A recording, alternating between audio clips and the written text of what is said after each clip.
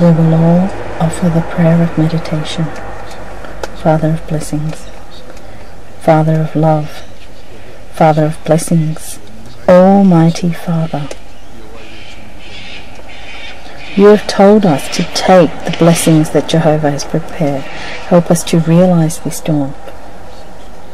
What have I done that is wrong according to the word? Help us to realize according to the word and help us to receive the blessings at this dawn. By your help, we believe that our families will be happy. We believe that tomorrow will be better, that our children will do more well, that our families will shine, that we will receive the blessings to be witnesses to all the people. We believe that the word will be fulfilled. In Jesus' name, we thank you and bless. Amen.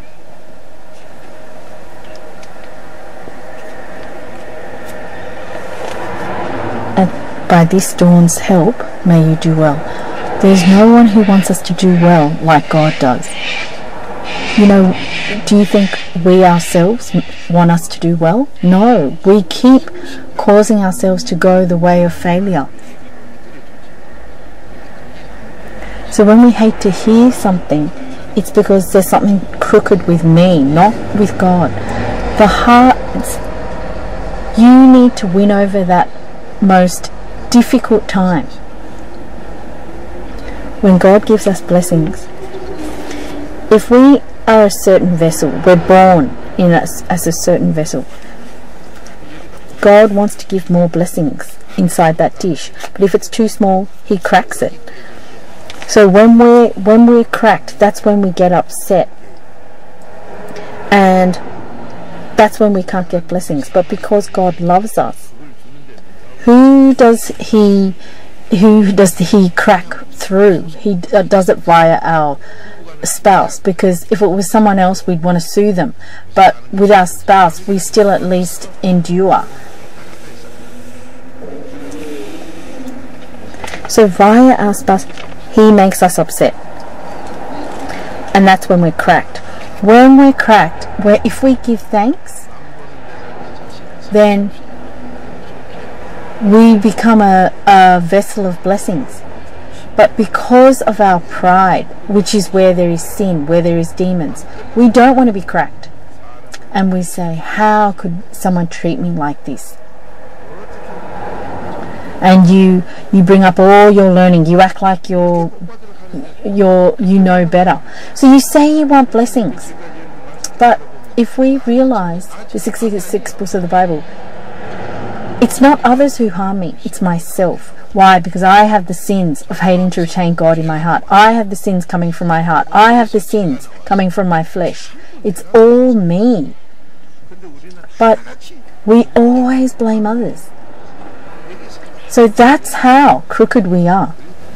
Philippians chapter 2 verse 4 it's all because of me. It's all for me. That's how you receive blessings. But you will not break that pride uh, that stubbornness so the older you get the more stubborn you become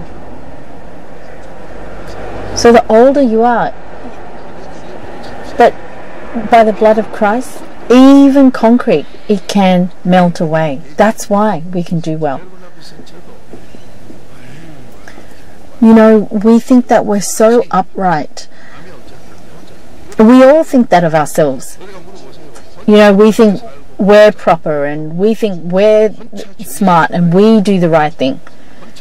We think that we love neighbours as ourselves. But in reality, we only seek our own profit. If you want to see yourself properly, you need to be able to see yourself from the outside. In other words, you need to you need to have nothing that belongs to you.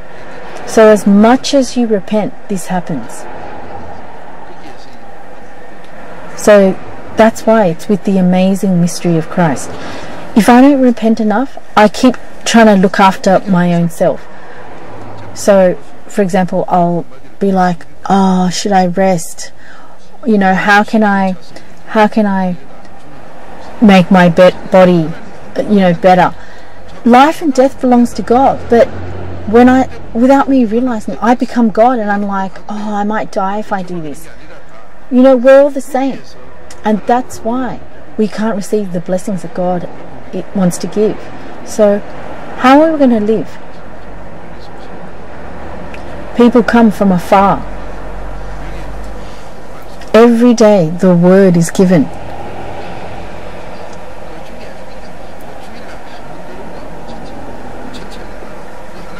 Even if you make the Sunday sermon yours, you will live, even if it's just one one of the word. If you can do the whole weeks, that's really good. So even if you came to our church for a year, you would have at least a thousand verses.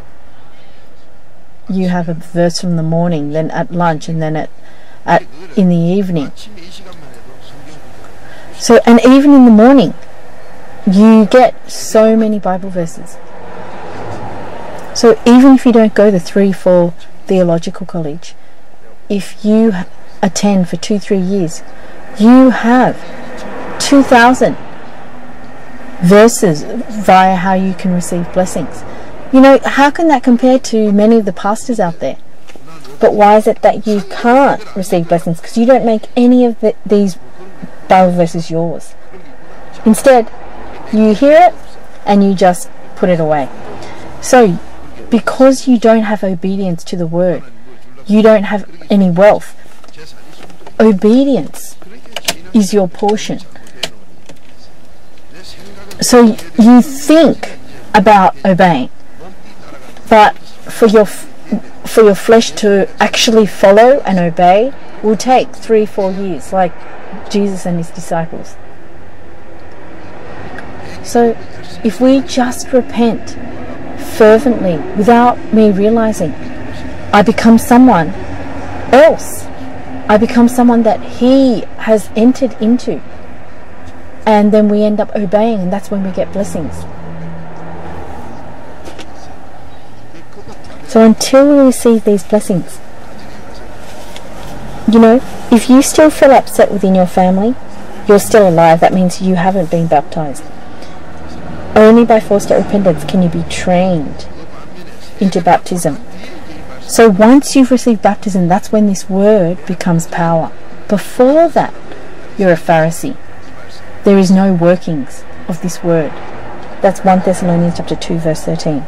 So why is it that I know so much of this word but there's no workings? Because you haven't been baptized. You are full of your own logic and your own selfishness and and your heart is stony where you say oh why should i believe that? You fall so easily. Or you, you so you become the stony ground. Or you become the thorny ground where you say oh it's going to cost too much. So that person they have no fruits. They have no power. So you have to quickly realize your heart. And when someone says something to you that is shaking you, you need to realize you're being tested to see if you have a stony ground as your heart. If you just leave that alone, you'll ruin your life. You will lose the faith. Every time you have a crack, that crack changes to to cement, and then you end off listening to sermons that are curses. That's Galatians chapter 1 verse 6. So it's that says, how do you how can you so quickly depart from this gospel? So that person has no joy. Someone without joy, they're filled with greed. So they say, yeah, it seems right here, but because they don't repent, they sit here with their stony hearts. So what do they do? All they do is grumble and complain when other people are receiving grace. Because they're crooked, because they're not like with like, they go off. And and that's why they get disasters and accidents in their family. And then, in the end, the person that they love the most, because God is jealous, He takes that person away. So it's only when you are completely broken that's when you come to hear the word. By then, it's too late. You've you've been punished, and you know you've had things taken away. even then though it's it's better than if you don't come at all so let's read luke chapter 6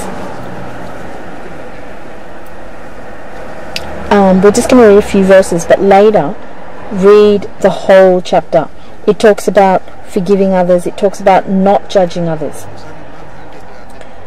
so you think that you're not doing well but god will make you do well inside of christ it's not that you're not doing well you're you're moving towards it.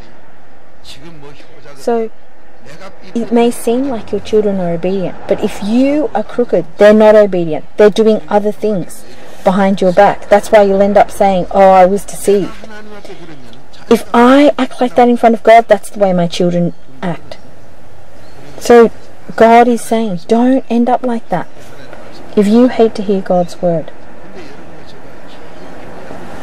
you know, these fake Christians, they're the ones that that try to to use these manners and and that more than anyone else.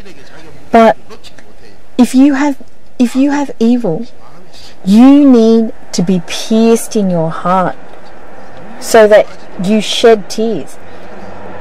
You have to say severe words for that evil to depart. When that word becomes yours, you will be blessed.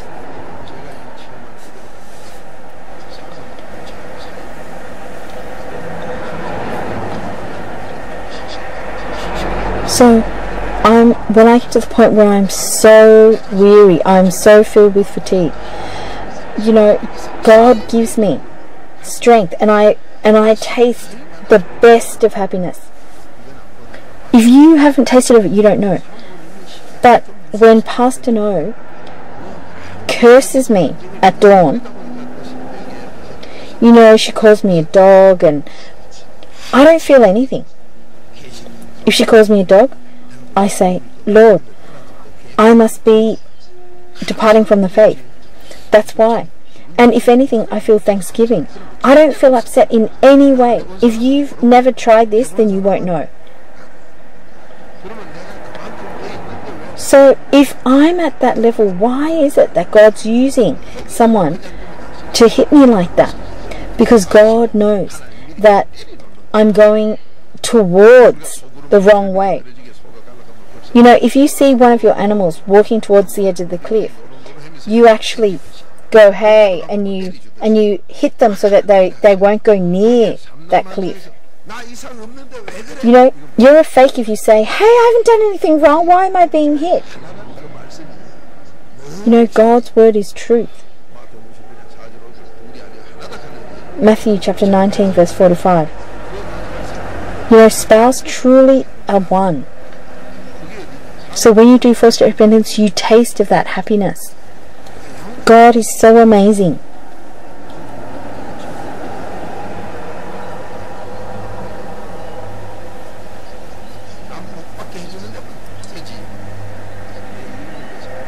So, God is so amazing.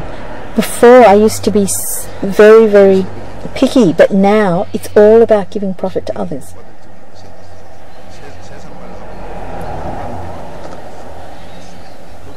So when you stack up the prayers at dawn, Jeremiah chapter 25 verse 34 it says, God, He he only gives when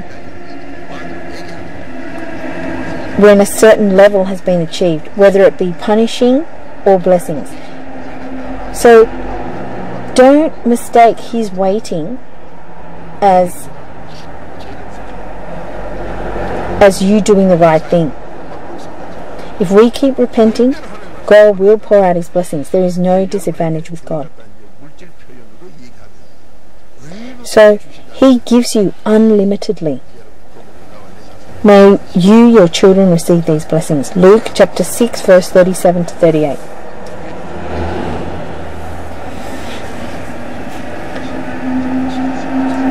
So, even the word that He's given us so far, it's so amazing. We have to keep eating it. Let's read verse 37. Do not judge, and you will not be judged. So, in other words, it's saying you reap what you sow, and do not condemn, and you will not be condemned. So, God's word, even now, is living, is working. So, who does it work in? Those who believe. 1 Thessalonians chapter 2 verse 13. Who is it that believes? It's not just by words, but someone who whose actions have changed. James chapter 2 verse 17. That's a living faith. So the help at dawn. Who is it that prevents you from going to dawn service? It's your own flesh. So don't lose against that. Instead, you say, I'll go there and die. So if you do, if you obey to the point of death. So I tell you how sometimes my fin- I can't even move my fingers, but I cry and I cry and I crawl out here. So even my wife who sees that, she can't understand. So I know that you couldn't understand. You know, I seem so normal, but I don't have a drop of strength. I cannot get up. And then after a little bit of time, a little bit of time's gone by, he makes me like this. So God is eternal. We have to be eternal. That's that's our biggest weakness. So you know we are different in the morning and in the evening. But as much as we repent and change, He gives us blessings.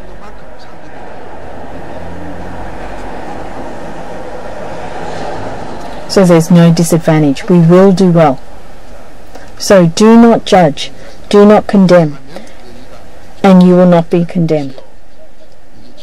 So this is all saying we will reap what we sow. And pardon, and you will be pardoned. So the word tells us to do this. But when we say, oh, I won't judge, I should pardon, that means you're someone who's actually committing these sins. If you do forced repentance, it happens automatically. You don't have to decide to do it. When you say, "Oh, I feel bad about it, but I'll still forgive," that's you're fake. You haven't repented. If you continue to do forced repentance, you don't say, "Oh, I feel bad, but I'll just I'll just endure and I'll forgive them." No. Whatever someone says, it you know that it is unjust, but you don't feel anything. And if anything, you feel thankful. So, if you do forced repentance, all of this happens automatically. Verse 38 Give, and it will be given to you. And love continues to come out. How? How could you love someone like that? But it does and you become someone who gives. You know, it's not about giving money. Jehovah has prepared blessings for them. If you want to give money to someone, you have to repent a lot. At the beginning, I thought that helping, giving was with material things, but it's not. God has prepared their blessings. The way I help you know, how, how many times do you think I can help? How much do you think I can help? It's not me helping others, but it's to, you know, if they're about to die, if they're, if they're starving, yes, you should help then. But it's not me that gives you God's blessings. It's via many, many places. I can't be with you 24 hours. You know, via this crow, all, sorts of places, God's prepared your blessing. It's not me that can give you the blessings. And that's why. Ecclesiastes chapter 5 verse 8.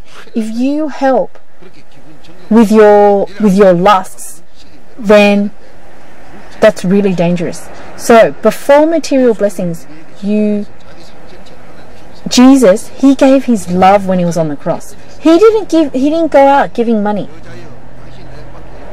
You know, on the cross he didn't say to the thief, "Oh, take money from my pocket." If all he gave was love. Material blessings can be one part of that love. But this heart of giving, we need to keep giving this heart to our spouse. So without this this word of truth, we would be like, oh, you filthy person, I'm only staying with you because we have kids. You know? Even people who go to church, that's the way they live. They don't want to give. This is why we didn't do well. We have to keep giving love. You know, there's no disadvantage in giving love. No one ever says, Oh, I gave all my love and I've got none left. It's not something that runs out. There's no disadvantage. The more you give, the more good, thing, good things come back to you. When God says give, we say, Ah, oh, if I had something I could give. But love, it's unlimited.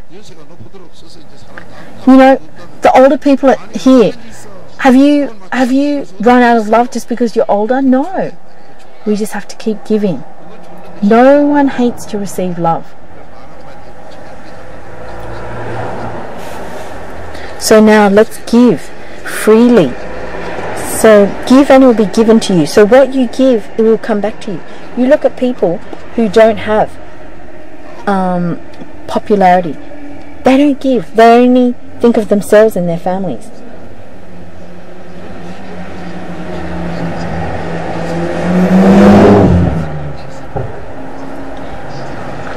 You know, I I keep giving, and that means via this crow over there, I receive. You know, love is there is no limit. You know, you can't say, "Oh, I had a hundred of love. By lunchtime, I've run out of it." So, starting with your families, let's give and receive blessings. They will pour into your lap a good measure, pressed down, shaken together, and running over. So you need to realize your blessings won't be taken by someone beside you. If anything, God will press it down into your pockets. So, because we have love, we are rich. Later, that love becomes material blessings and fame and our children doing well. But we just only try to look after our own families. And even that we don't do properly. So God knows this, and this is why we don't do well. God knows all. So let's be people who give.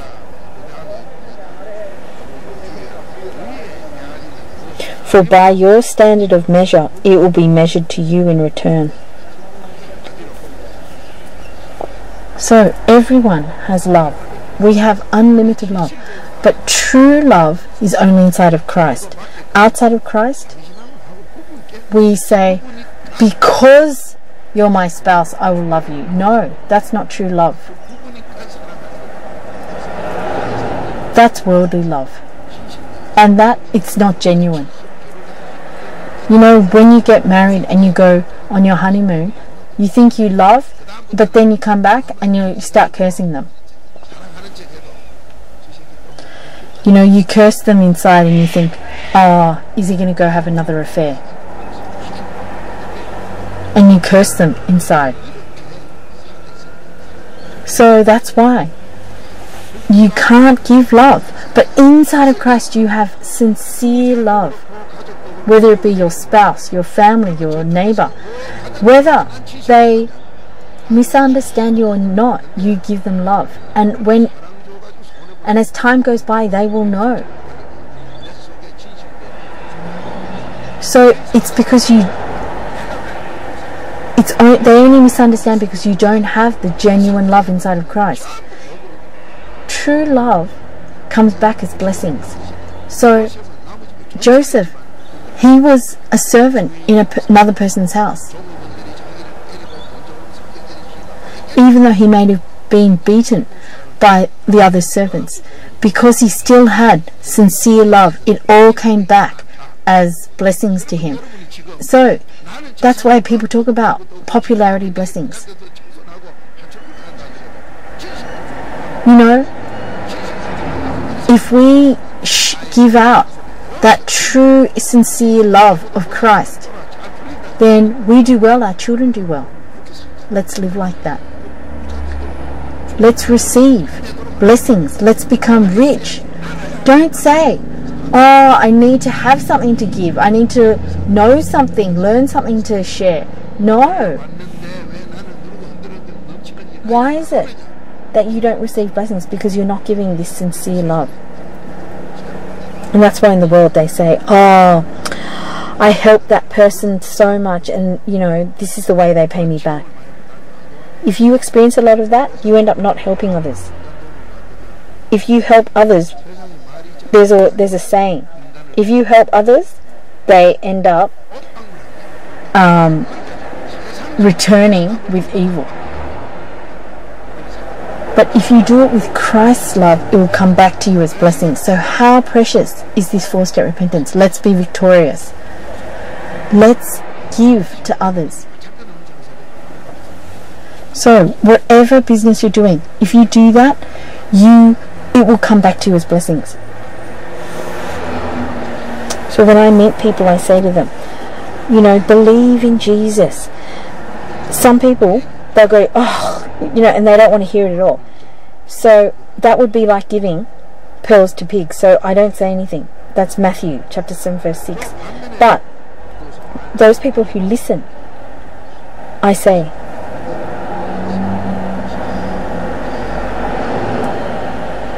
you know, if you keep asking for forgiveness sins, and then as much as you can help others, as much as you know share with others.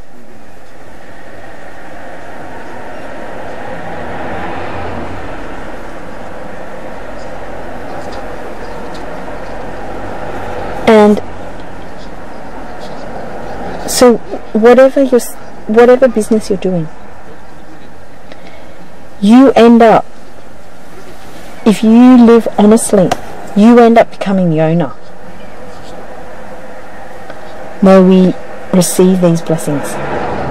No matter what anyone says, let's be witnesses of the word. If you can't even love your family and you say you love others, that's a lie.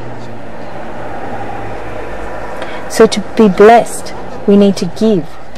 It's not talking about giving money. If we give love from our hearts, God keeps making you give. if you look at Pastor No, without people knowing, there's so many people who receive her help. You know as time goes by. She gives so much. She comes to me sometimes for for permission, but you know, just she gives large amounts of money. You may think, oh, I wish I received that. But even better that than that is to receive love.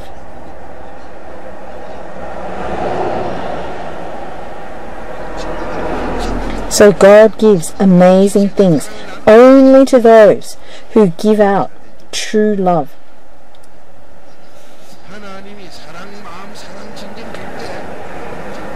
So when we give sincere love, in the end, He allows us to also give out material things. If we can ride a tricycle, then soon he'll give us a bicycle. So God, He's prepared everything for us to give. He's not a God that says just give. If we first give love, then later He'll allow us to also give out material things. Let's all pray. Lord, how have we lived so far? everything, all love, we calculate and we put conditions on it. Help us to be forgiven of this wrong love, whoever we meet. Even beggars, we could be serving angels. Help us with sincere love. No matter what they think of us, may I repent of that and with the love of God to profit them one day that will come back to me and my children running over. Help us to be witnesses of this. To be, to have the blessings of popularity. May our lives say amen to that. In Jesus' name, we thank you and bless. Amen.